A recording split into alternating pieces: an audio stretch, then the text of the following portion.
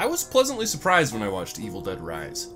It takes some tropes from the Evil Dead series, but had plenty of unique and fun ideas that really made it something of its own. It's a good horror movie with plenty of gore and fun moments, but be warned, we'll be covering spoilers in this breakdown as well. Also, if you enjoy videos like this, then don't forget to leave a like and subscribe so you don't miss out on the next one. We open at a cabin in the woods, where we meet three friends named Teresa, Caleb, and Jessica. Something traumatic happened to Jessica before the vacation, but that's not important right now.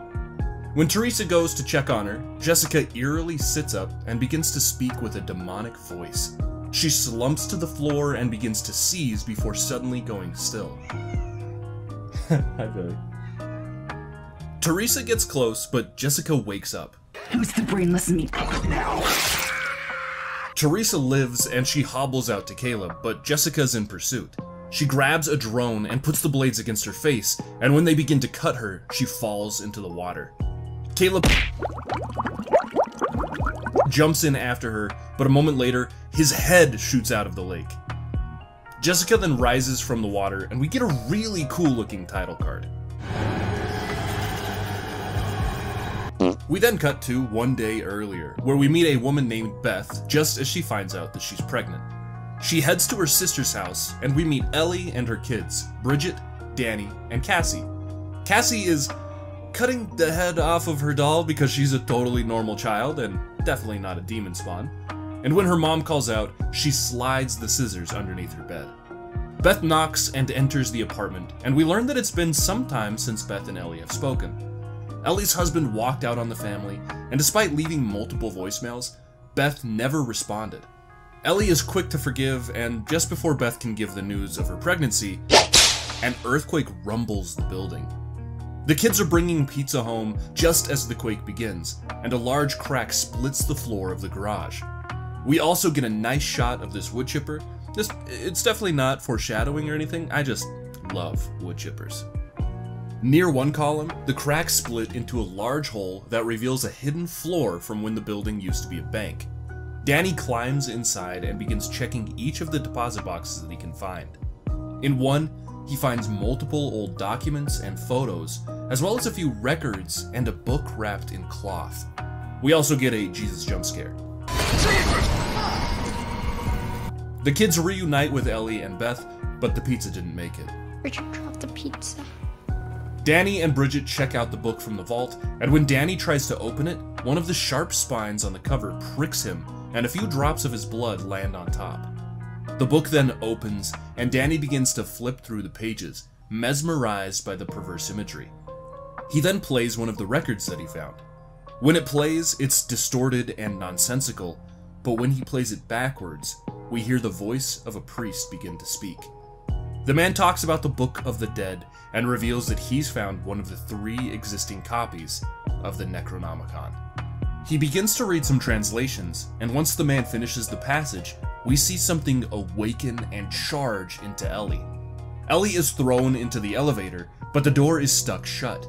She hears something growl before a cable slithers from the ceiling and wraps around her neck. Cables then wrap around her arms and legs and hold her suspended in the air. Inside the apartment room, we see the power suddenly go out before the door opens and we see Ellie stumble inside. She walks to the stove and begins to make an omelet with eggshells and bloody yolks. And when the family asks her a few questions, it's clear that she's not okay.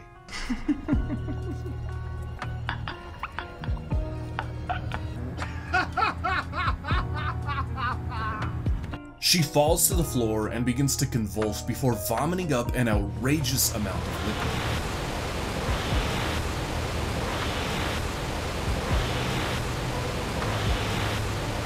She pleads with Beth before collapsing. Danny and Beth then drag Ellie to the elevator, but find that it's not in working condition. When they go for the stairs, they see that the earthquake demolished the staircase as well, so they have no way of getting Ellie to a hospital. And when Beth looks back at her sister, Ellie has died. While mourning, Beth's phone goes off and plays one of Ellie's voicemails, but the voice changes and Ellie begins to beg for help. Then, despite being dead, Ellie sits up. Ellie is burning up with a fever, so Beth and Danny put her into the bathtub. It quickly becomes apparent that something is wrong when Ellie shoots from the water, clings to the ceiling, and screams at her family.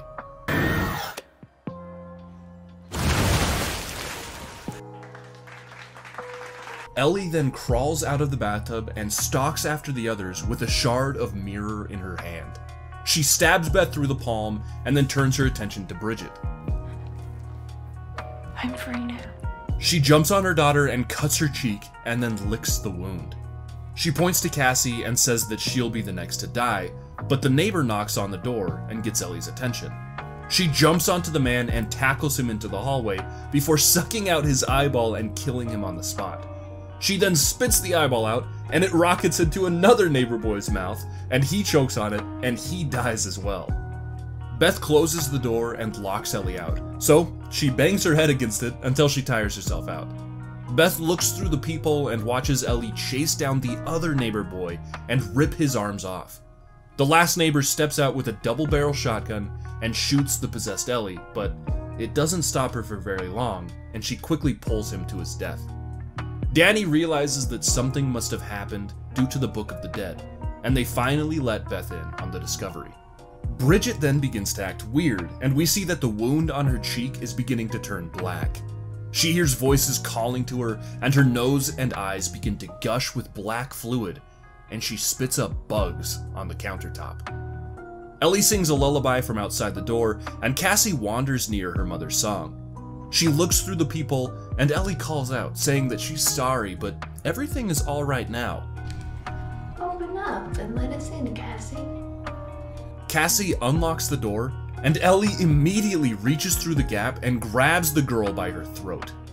Beth and Danny run out and save Cassie, but the safety is short lived as they see something has happened to Bridget.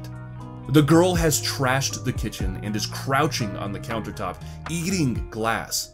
She jumps at Beth, and when Danny comes out to help, she chases him into his room. She then sees Cassie inside the room and jumps at her, but Cassie lifts up a broken toy and skewers her older sister. Danny ties up Bridget's dead body, and Beth decides that she wants to listen to the other records that Danny found. As she listens, we hear the priest talk about his regrets in summoning the evil spirits and warns that killing those who are possessed doesn't last long unless they dismember them completely. At the same time, we hear Ellie climb into the apartment's vents.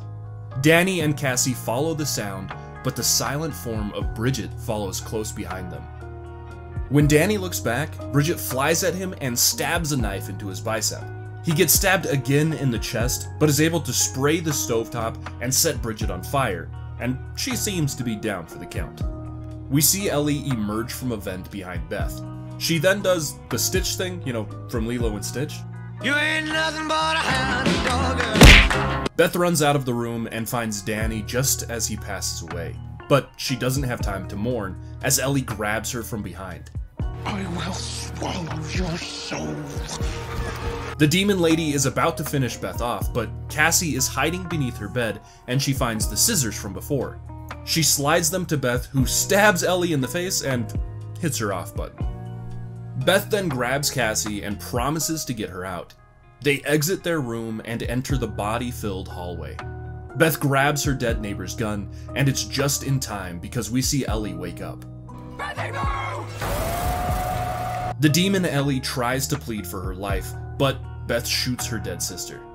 The undead Danny and Bridget then exit the room and join their mother. Everybody here dies by dawn, Beth. Beth and Cassie run to the elevator and the doors finally close. The cabin begins to fill up with blood, pouring from the walls and filling it almost completely. We see Bridget and Danny then reach their arms into Ellie's stomach, and then we see an image from the Book of the Dead of a being created from the melted forms of multiple people. Beth and Cassie nearly drown, but the doors open at the last second and dump the duo into the lobby below. They rush into the garage and get into Ellie's car. They're almost home free, but Beth drives right into a hole and gets the car stuck, and they find that they are no longer alone in the garage. Beth and Cassie make a run for the gate, but as they roll through, Cassie is grabbed and dragged back inside. The creature then creeps forward and grabs a chainsaw. All I want is your little head, baby girl. Beth shoots the creature in the back, allowing Cassie to crawl away. Come get some. Come get some. Come get some. Beth shoots her last bullet, but the monster throws the chainsaw at her and knocks her off balance. It then grabs her and flips on the wood chipper and drags Beth towards the grinder. Cassie stops the machine just in time, and Beth rolls away and grabs the discarded chainsaw. She then yells for Cassie to turn the wood chipper back on, and she charges at the creature and shoves it inside of the blades. Ellie, Danny, and Bridget get grinded into itty bitty bloody bits. Please. Beth grabs Cassie and they finally make their way outside, grabbing the chainsaw on the way, you know, just in case. A little while later, we see a girl exit her room and enter the now gore covered garage. When she sees the viscera, she screams, and we find out that she's Jessica, the girl from the beginning of the movie, and this is how she became possessed by the Evil Dead.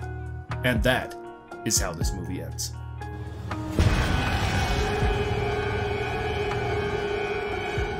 I think this was a solid movie. The way the characters got stranded was clever, and the way that things escalate the moment the spirits are awakened made the movie feel quick and dire. What I appreciate the most about this movie is that it was something of its own. There are a few tropes and callbacks to the other Evil Dead movies, but Rise didn't feel like it was trying to mold itself into a movie formula. Instead, it felt like something new and fresh, while still having small semblances of its predecessors. That's really all I have to say for this one, so if you enjoyed this breakdown, don't forget to like and subscribe, and if you become possessed by an undead spirit, then remember to remove the shells from your eggs before you make the omelet. It'll taste much better that way, I promise. Bye-bye!